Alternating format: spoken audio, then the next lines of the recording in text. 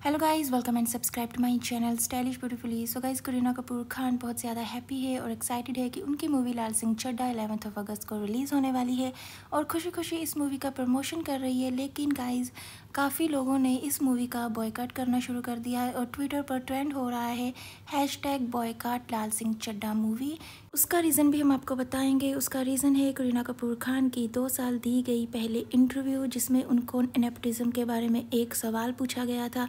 जिसके जवाब में उन्होंने बोला था कि जिसको उनकी मूवी देखनी है, देखे, वो कोई फोर्स नहीं कर रही। जिसको नहीं देखनी है, मत देखे। वही पुरानी इंटरव्यू करीना कपूर खान की हर जगह सरफेस हो रही है और लोग बोल रहे हैं कि बॉयकाट करो इस मूवी का, क्योंकि अगर करीना कपूर खान खुद बोल रही है कि उनकी मूवी देखने को कोई फोर्स नहीं कर रहा तो हम क्यों देखें?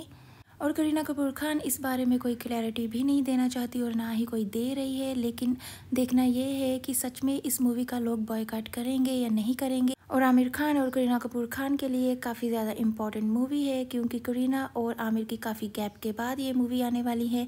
तो दोनों के करियर के लिए काफ़ी इंपॉर्टेंट है। अभी देखना ये है कि पुरानी इंटरव्यू का कितना असर पड़ता है उनकी इस मूवी पर।